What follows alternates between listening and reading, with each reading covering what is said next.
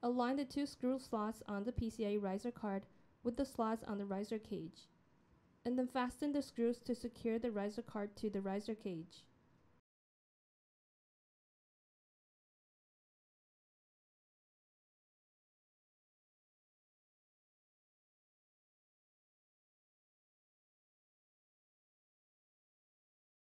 Align the two tabs on the PCIe riser assembly with the slots on the rear of the chassis, and then insert the assembly into the connector on the system board.